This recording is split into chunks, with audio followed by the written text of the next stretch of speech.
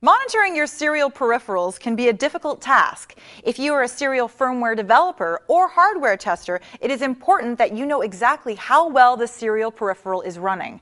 232 Analyzer is an advanced serial port analyzer which allows programmers, engineers, and others to control and monitor serial port activities.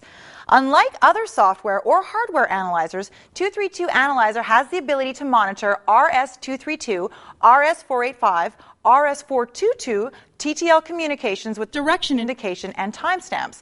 So you'll know which direction the data is coming from, even on a two-wire RS-485 network.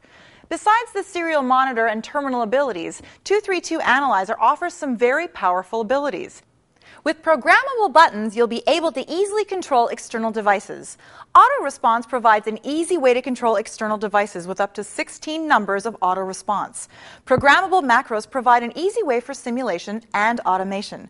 And an advanced checksum calculator to check the data integrity, as errors might occur during data transmission. 232 Analyzer is the most useful software for controlling, testing, developing, and debugging serial devices, control software, and firmware. For more information, please visit 232analyzer.com or commfront.com.